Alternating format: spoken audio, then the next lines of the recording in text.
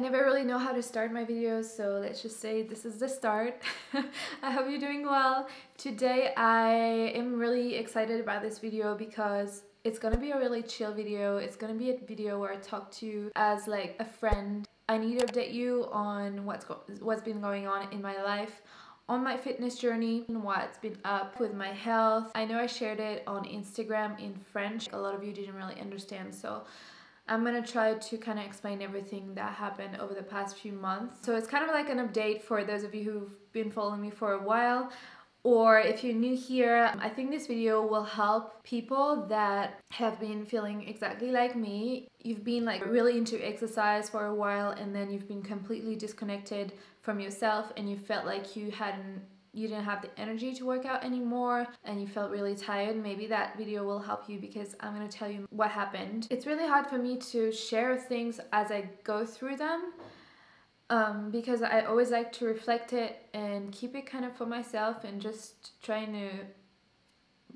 get better by myself because I'm always scared of like sharing something not good will influence you and I never want to share something that's not like uplifting or I don't know like I always feel like the energy that you put out is the energy that you're gonna get and so I don't want to you know like talk about so much of how I'm not feeling good because I just feel like I'm gonna stay in that circle and I'm gonna stay in that energy but also I know that it's not fair for me to just talk about when I'm going well. Now that everything is past, I can really talk about it more openly and I'm sorry that I haven't really been opened about it, but that's just how I go through things. So to kind of explain what happened really, I think I need to rewind a few years ago. I started working out for confidence issues. I was feeling really bad in my body. Yeah, my body image just affected me so much that I lost all confidence that I had. I never cared about the way I looked until some point um, I talked about in my book. But yeah, so that's the reason why I started working out, basically just to lose weight and feel more strong. Also, in my mind, I was like, if I look stronger because I'm short, I'll make people respect me more. And I know it's so bad to think of the way I look for others, but I still think to some extent that it, it is true. The way you project yourself, it comes from, of course, your lifestyle, but yeah, that's just another topic. but so yeah, I started working out and I was really into it. I loved it. Uh, obviously, like after I lost weight that I didn't want anymore, I just kept going because it just made me feel so good and yeah, I just loved it. I really loved working out, going to the gym, but I'm not gonna go through my fitness journey today. But yeah, that's just to understand where I'm coming from. So then I started doing yoga and I started not going to the gym anymore. So I did more yoga and a little bit less training, but I still had some fitness in my life and everything was going well. Like I was living in Paris and I was working more, um, but I guess I was just keeping the routine of like eating healthy, working out maybe five times a week, four times a week, just being like healthy um, and happy. Uh, and then what happened? 2019, or maybe even like just a little bit before in 2018, but I can't, like, I don't have a date that started it. Like, I don't, I don't recall anything happening to me for it to start.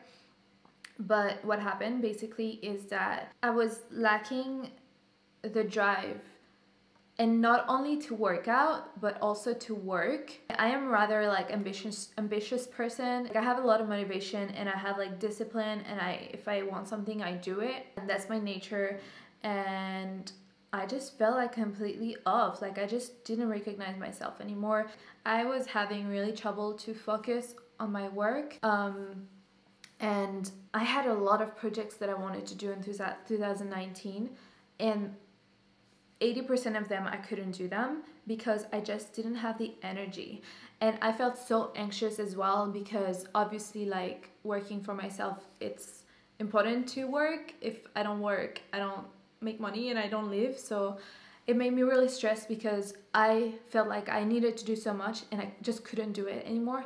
I just don't know what happened to me. Like this really gets me emotional, but yeah, I just, yeah, I didn't understand what was going on. I wasn't feeling depressed and I wasn't feeling something was missing in my life, a purpose was missing in my life because I had this issue in the past.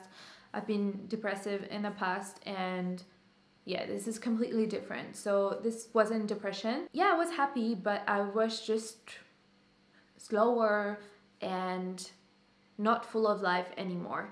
Let's just say it this way.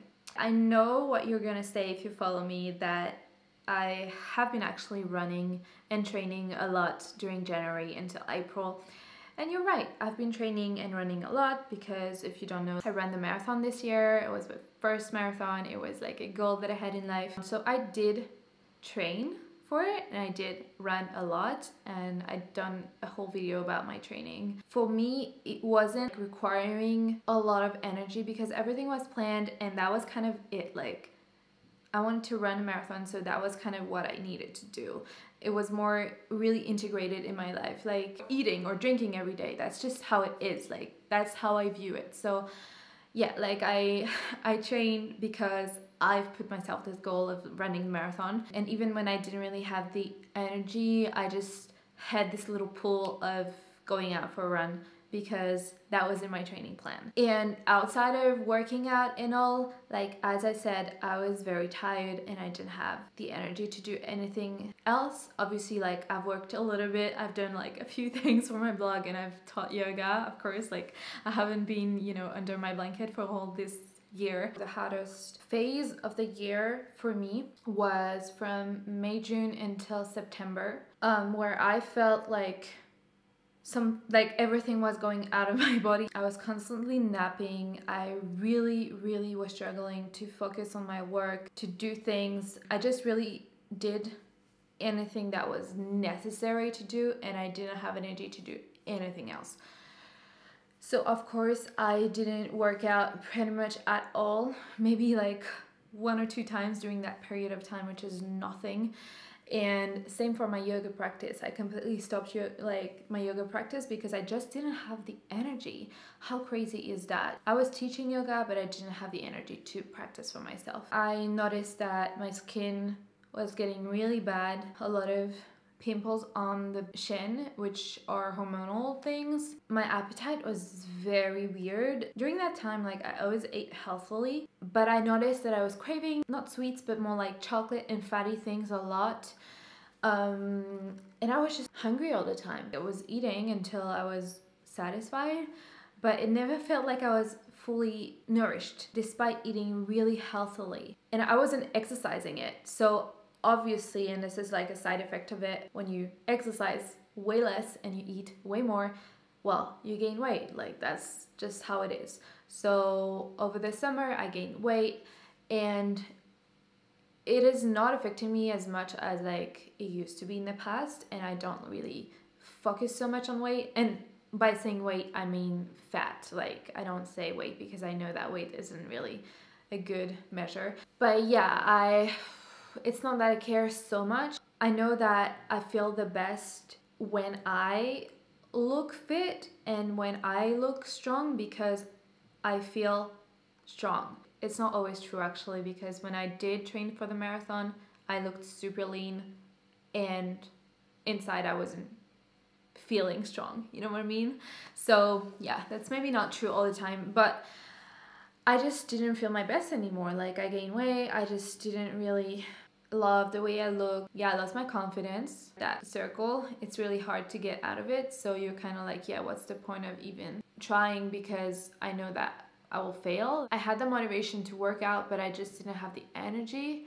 So I was like, yeah, am I gonna stay like this all the time? Like, is it the new me? Is it just that I did way too much in the past and now my body's like, yeah, that's actually not what you're supposed to do. I don't know, like I just ask myself so many questions. So I spent the whole summer like just not good feeling good. And then in September, I decided to do a little check on my health because I was like, yeah, what's going on, you know? And so we found out that my hormones were off, my digestion was off, my liver was like super full of toxins, pollution, heavy metals. Kind of just explained everything. My assimilation of nutrients was off. So I started a vitamin cure for that, uh, which I've started in September. Now we're in November. It's almost over, and I feel like so much better already. The hormonal problems were explaining why I felt so tired. and all the acne problems that I had. And my digestion, just explained how I wasn't able to feel nourished by the food that I was eating.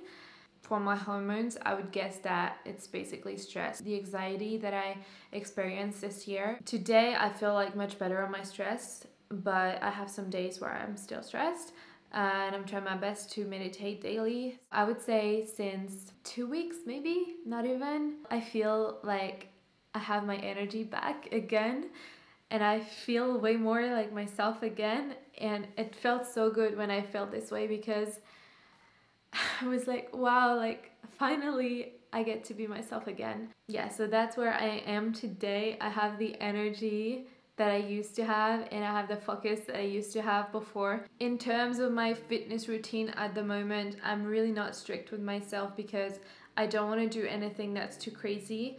Um, obviously, I would love to like get back to like a four or five times a week of training and like having like a little routine of working out, resistance, and running and like yoga and all that. But most importantly, like I have the focus to work, and yeah, I haven't felt this way for months. So it just feels amazing, honestly.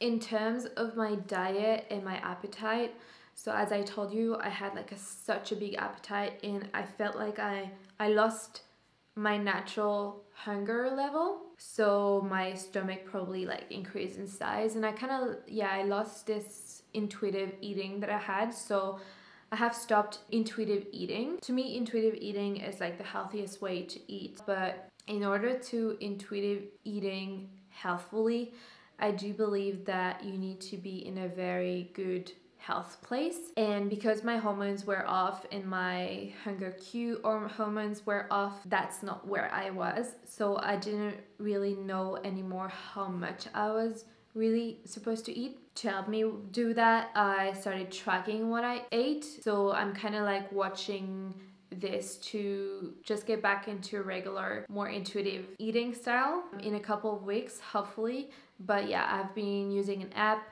and next week I'm gonna do a what I eat in a day just to show you what I've been eating on this like journey to be healthy again and just um, help me lose weight too.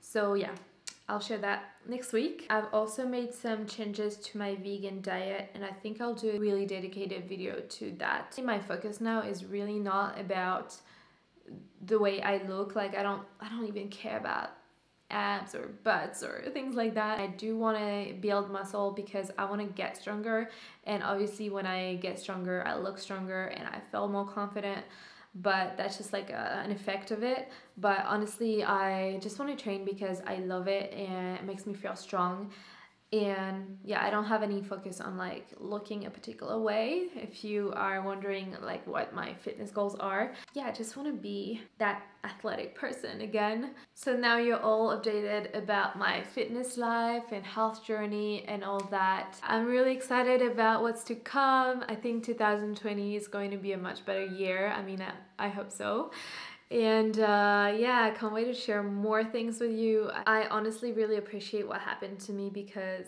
it teaches you a lot when you can't work out or you can't, you know, be like you were before. Appreciate your health when you have it way more.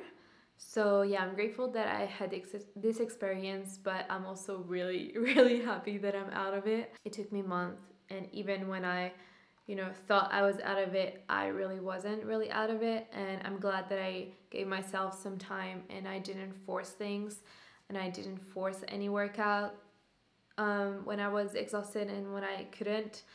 So, yeah, thank you so much for listening. And I hope to see you next week on my channel for my What I Eat in a Day. And yeah, if you have any like questions or any other things that you want to say or say hi or say happy birthday to me, then leave it in a comment below. Hope you like this video and i will see you really soon